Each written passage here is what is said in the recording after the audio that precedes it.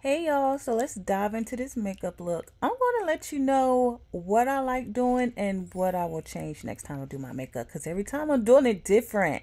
So this is some soap I tried the soap brows and I love it. I got that soap from Dollar Tree and I just put in that little container. Now this is some brow pomade that I got from Ulta. I do not like it because it's a little gray on me so it's going in my for sale pile. And this concealer is an OG. It's so old but look how creamy it still is. I love it. It's by Maybelline. I'm just trying to use it up. And the brush I'm using to spread it out is a paintbrush. You know, you can pretty much use any type of concealer underneath your brows, baby. It really does not matter. It can be the same color as your skin tone. It can be two shades lighter, whatever. And then I just like to take this little stippling brush and blend it all out, you know. A lot of these products I'm going to show you is old and I'm just trying to get rid of stuff. Like this MAC Paint Pot. Now, I do love this. I haven't used it so long. It makes my eyeshadow last forever. If they still sell it, girl, go get you some because I need a new one. And this is my e.l.f. primer. I do not like it. I do not like the pink one. I do not like the green one. I do not like green eggs and ham. Sam, I am. Y'all crack myself up. I do not like it because it makes my skin still look oily. I can go without it. You know, just use my Patrick Starr setting spray. I'll be good. But I'm on the lookout for another primer for oily skin. But yeah, so here, this is NYX Orange Corrector you know, just the color correct above my lip. And then I'm taking my translucent powder and putting it around my mouth. It's mainly for my smile lines. When I do this, I do not have smile lines. It works. So this will always be a staple in my makeup routine. May look crazy, but hey. I have also been on the hunt for foundation. So this is a sample I got from Sephora. It's by Estee Lauder in the color Nutmeg. I love this foundation. This is the second little sample I have gotten because I need to make sure this is what I want. And plus it's matte. I love it. So I think I'm going to go ahead and purchase it. Now moving on to eyeshadow. I kept it really simple. I love using my contour palette for my contour as well as eyeshadow because it gives me that really natural neutral look that I be going for. I like to take that middle lighter shade and use that as my transition color. And then I go in with that darker shade and just kind of focus that at the end. Two colors right there in that little crease and boom. Now i'm taking this pressed powder that i bought you know usually for my highlight but i'm using that in the inner corner of my eye just to give that little pop. And then i go back in with that middle color to kind of get them to blend in. Girl that's it. One two three steps for your eyeshadow. Look like you know what you're doing so yeah that's my little go-to look that y'all usually see in most of my videos. And the star. This one size setting spray is the sugar honey iced tea baby. Let me tell you coming from an oily skin girly you need this if you have oily skin or if you just want your makeup to last all day. It's a staple. I don't care how much it costs. I will always and forever purchase it.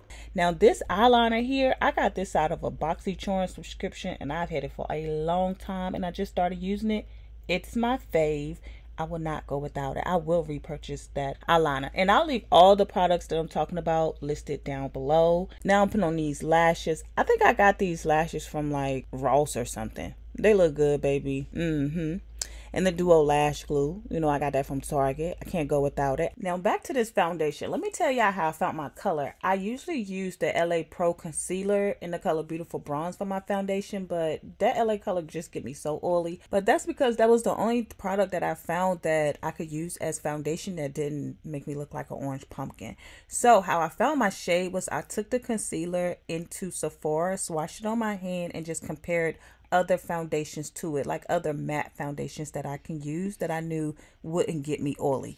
So I will be purchasing that $52 bottle of foundation. I just had to make sure that was the one. So if you're searching for a foundation, just take a product that you know works for you and then swatch it to other foundations to find that perfect color. Okay, moving on to this L'Oreal concealer that is my favorite. I will always use this concealer. I find myself trying to find different concealers, but I'm just going to stick with this one for a while and just do what works because it works out for me. And then this Too Faced concealer is more so my skin tone, just like a shade lighter. I like to add that on the outsides, you know, because the L'Oreal concealer is pretty light. I do, when I do a full glam, I like um a very highlighted look. Now, I can say that I do need to make sure I take my time and blend my makeup a little bit more. For example, here I was on the right track by switching my brush and, you know, trying to blend the edges. However, I should have went back and used my foundation brush to blend the edges. So next time I will do that because I have been watching people different lives do that.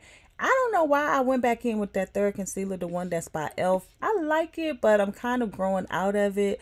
I was using that before I found the L'Oreal. I never used three different concealers. Girl, I guess I was just being extra because I was on camera doing my makeup. I don't know, but yeah. So I'm just taking that same concealer brush and blending out my concealer. Like I said here, how I'm trying to just continue to blend out the edges and I'm actually just spreading the product. There I should have used my foundation brush to help me blend it out instead of spreading the product. And here's a concealer I've been using as my contour. It's by Essence. I love it. It's bomb and it doesn't have me looking too dark or gray or anything like that. So here I am now going back in, working harder, not smarter, trying to blend out my concealer, like I said, and I should have used my foundation brush. And I know one may say, well, Tari could just use a darker shade. That's not it. I don't want to use a darker shade. I love to highlight it highlight look. So I just need to work on my blending. And like I said, once again, use the foundation brush. And I even went in with this makeup sponge to help me blend it. It helped a little bit. Now I'm going in to set my highlight using this pressed powder that's by Essence. I love it because it helps with my creases that I usually get underneath my eyes. So I like to use a pressed powder first and then I will go in and use a loose powder. What I'm using here is by Laura Mercier and it's in the color translucent and I love it. So I like to do one eye at a time. So I do like to apply my cream highlight first and then go right into setting it with the powders. And then I will move on to the other eye. So that's what I'm doing here. I do my highlight and then I do my contour and then I set them both.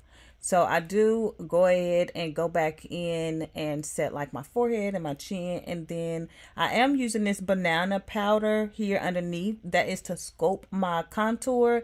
Now, even with this, I did change the color to like a more yellow color the banana color, but I do need something that's even more of a skin tone so that it's not I get so ashy. so don't be in my comments coming for me, baby. I know this is a work in progress. I'm working on it. I'm going to change my little um, setting powder underneath. So here I'm going back in with that same contour color to contour my nose. I like using that contour brush. I got that from Temu. I'll leave that link down below as well. So I like to apply the contour to the brush versus directly to my nose using one brush and then I blend it out using another brush. I found that it helps my nose contour not look so harsh. And then I'm going back in with the Patrick Starr this bronzer. I like to put that right in between my highlight and my contour to help diffuse them a little bit more. And then I bake just one more time because baby, I want it to look snatched I love the snatched look. And another thing that's been working out well for me that I do differently, instead of brushing off my highlight there, I do just kind of stipple it in and it helps, you know, just pat it in versus sweeping it off. Now, let me say, I do understand that it looks a little light. However, I did need my makeup to last all day and I do know because I tend to get a little oily that my makeup tends to oxidize throughout the day. I was doing my makeup here like 9 o'clock in the morning and then I was still going out of town and I needed my makeup to last all day. So take that into account why it's so light and you know very matte at this moment but throughout the day it did oxidize and kind of darken. Now my favorite, I'm going in with the Patrick Starr setting spray. I gets down with it because it lasts. Baby, I'm fanning it, but you really don't need to fan it because it instantly dries. It's bomb. Like I said, go get you some. Okay, now for my signature lip. I'm going in with this lip liner. This is from the beauty supply store. It's just like a regular brown lip. It's real creamy. I like it. I'll leave the information down below. So I line it first and then I go in and just shade in the corners of my lip and kind of block them together. And then I use that same eyeliner that I used on my eyes and I just do a slight line around my lips. I used to use a black lip liner, but it smears too much. So I find when I use an eyeliner oh, it lasts all day. It's so bomb. So I will blot them together to kind of get it to merge, but then after that, like it does not move, baby. So that's the bomb lip combo. And then I go in with this, I believe it's by Revlon lip gloss. And I usually like to use the crayon case in Clean Kisses, but I couldn't find it. But this was the second best. It still looked good, you know? It'll do. And because that wasn't as light as the Cream Kisses lip gloss that I usually use, I just went in with this Morphe concealer and put that on my lips because I don't use it on my face. So I just used it on my lips and it helped brighten it up like that. So yeah, that's the finished look. Y'all let me know what y'all think about this makeup look. I was, you know, going through some products that I will not usually use, but also I have the ones that staples that I will always use in my makeup routine. So y'all, um, I'll be back with an updated update makeup look so we can really get down to the business.